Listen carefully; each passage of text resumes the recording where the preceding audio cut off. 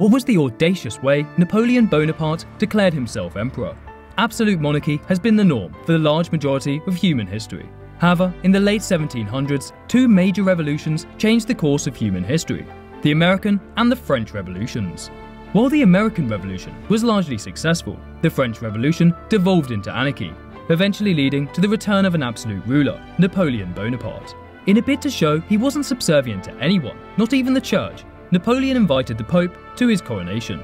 Rather than allowing the Pope to crown him, as had been the custom for generations, he snatched the crown from the Pope's hands, crowning himself the Emperor of France.